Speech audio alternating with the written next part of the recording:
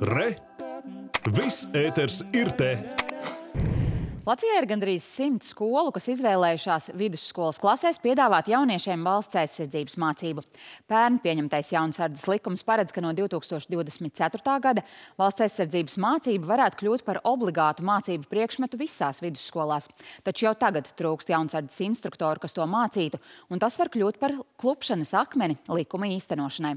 Tāpēc jaunsardzes centrs ļoti aicina interesantus izvēlēties šo profesiju.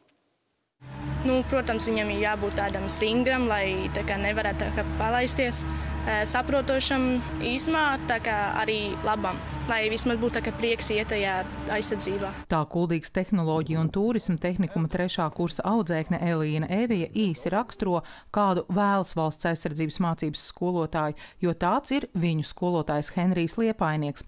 Viņš ir profesionālā dienesta karavīrs, piedalījies arī divās starptautiskās miera uzturēšanas misijās Afganistānā un Irākā. Par instruktoru strādājis daudzus gadus, bet ar jauniešiem aizsardzības mācībā trīs tad bija jāapgūst 72 stundu pedagoģiskais kurs. Nu, manā gadījumā Liepājas augstskolā, un šobrīd es mācos Latvijas Sporta pedagoģijas akadēmijā, lai varētu pasniegt šo valsts aizsardzības mācību. Vēl bija papildus kursi speciālām apmācību programmām. Savukārt Mārtiņa Brīsgas ceļš uz valsts aizsardzības mācības skolotāju un jaunsardzes instruktoru darbu bijis citādāks. Viņš 17 gadus Rīgā strādājis galdniecībā par CNC operatoru, bet vēlējies ko dzīvē pamainīt un atgriezies dzimtajā skrundas pusē.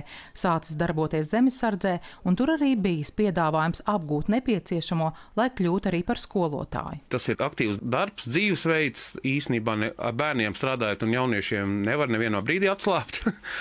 un pašam joprojām ir interesanti, jo katru dienu kaut kas pamainās, tas pats laikapstākļi jādomā, visu laiku galvā jāstrādā, pats kustībā. Valsts aizsardzības mācība kā pilotu projekts tika ieviesta 14 skolās 2018. gadā. Pat labam kā izvēles interešu izglītības priekšmetu to pasniedz 99 ar nepilniem 6000 skolēniem. Katru gadu to skaits pieaug skolām brīvprātīgi piesakoties. Tā pakāpeniski tiek sagatavot arī skolotāji. Šobrīd tie ir 120.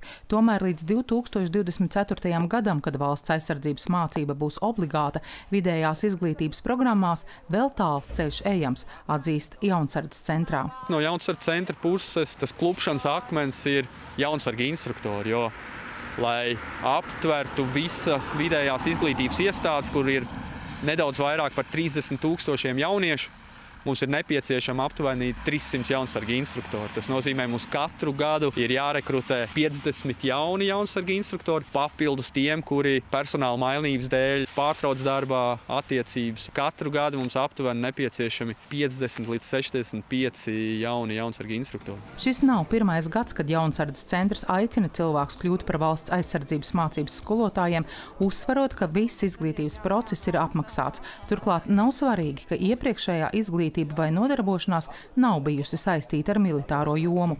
Ieva Benefeldalants Perševits TV kursa.